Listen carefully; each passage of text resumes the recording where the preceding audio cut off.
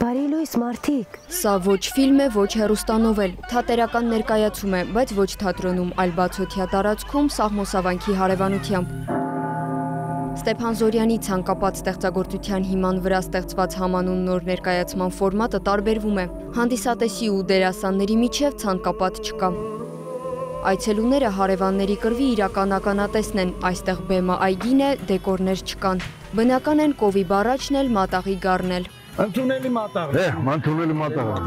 Շատ արդիական է, ամենակարևորը եւ ինչն է հետաքրքիրը, որ իրադարձությունները տեղի են ունենում 100 տարի առաջ եւ 100 տարի հետո այդ նույն իրադարձությունները մենք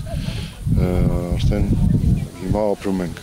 Մյուս հարևանը նաև ներկայացման բեմադրության ու սցենարի հեղինակն է հողի եւ ցանկապատի եւ մեկը մյուսի հետ չկիսելու թեմաներ հարևանների, որը կարծես թե հազար տարել առաջ կար, այսօր էլ կա վաղն էլա լինելու մեր տեսակն է եւ ընդհանրապես մարդու տեսակն է, սա միայն հային չի բնորոշ։ Տրագիկոմեդիա է, հումորային ու ողբերգական երկխոսությունները ստիպում են հանդիսատեսին ծիծաղել, հետո լաց լինել։ Բեմադրիչը պատմությանը ավելացրել է նոր կերպարներ։ Շատ դժվար է ներկայացումից կտրված կերպար խաղալ ու խաղալ մի կերպար, որը նման չի մնացածին Այսինքն այս դեպքում խենթ, բայց հասարակության կողմից խեն ընդունված խենթ, իրականում ինքը կարելի ասել լուսավոր կետն է, բայց եւ պահպանել դա եւ իր խենթությունն ու տարօրինակությունը շեշտել դա բավականին բարդ էր։ Ներկայացման մեջ կենցաղային խնդիրներն են, երկխոսության տողատակերում լուրջ հարցեր։ Միազամեղ կա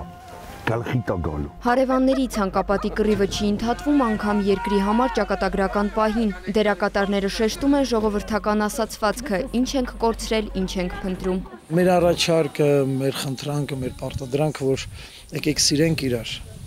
Եկեք այս ցանկապատները հանենք, որտեղ հողը սահման չունի անսահմանավից անսահմանության մեջ կարողանանք սիրել գնահատել իրար որ չկարողանա թշնամին մեզ կտոր-կտոր անի մեզ զատի իրարից